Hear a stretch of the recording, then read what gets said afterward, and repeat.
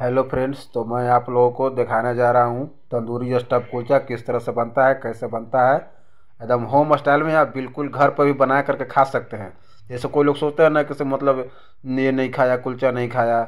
तो देखिए, मैं आप लोगों को एकदम बेहतरीन तरीका से बता रहा हूँ, आप लोग भी बना कर खा सकते हैं। तो चलिए आपको हम दिखाते हैं कि इस तरह से बनता है।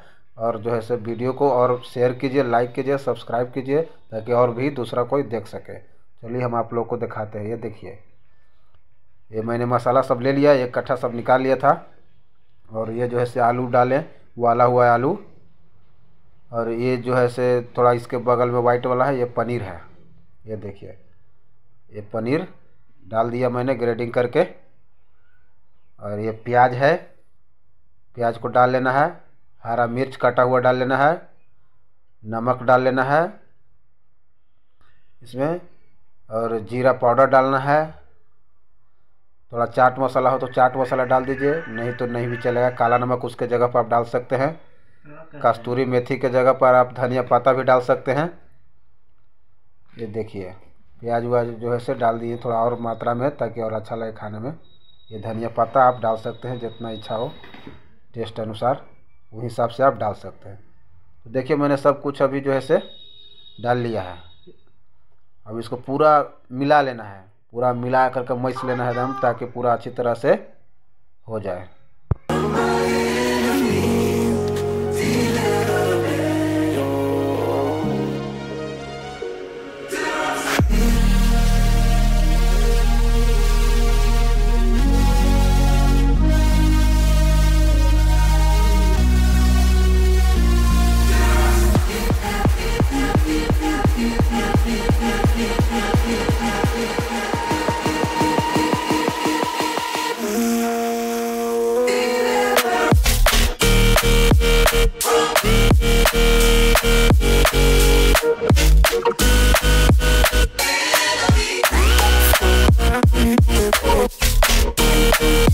beat, beat.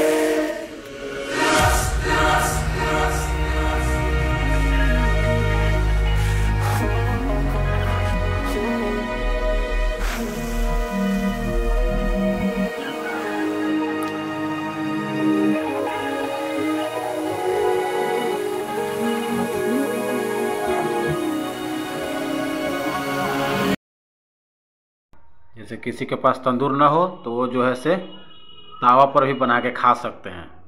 तावा पे भी सेक खा खा सकते हैं, जैसे परोठा बनाते हैं ना गाँव में, उस टाइप के आप सेक करके खा सकते हैं, उसको बोलते हैं कुलचा। जो देहात में बोलते हैं परोठा, उसको। तो देखिए किस तरह से अभी लाल लाल निकलेगा, इसको थोड़ा सा टाइम ले, दे देते हैं। दो तो तीन मिनट ये पक करके निकल जाएगा। देखिए, इस तरह से एकदम निकलेगा आपका भी। अगर चूल्हा के अंदर में ठोकिएगा तो।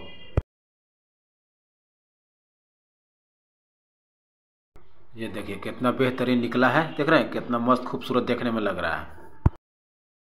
और इस तरह से बटर लगा लेना है। जब बटर लगाइए या घी लगाइए, जो भी आपको लगाना है, लगा करके और जो है से खा सकते हैं। अब जो है से ये पूरी अच्छी तरह से रेडी हो गया है। देखिए अब मैं आपको किस तरह से ये रंग आया है। आपको मैं दिखाता हूँ। ये देखिए, देख रहे कितना बेहतरीन लग रहा है देखने में। देखिए, बहुत ही मज़ा आएगा खाना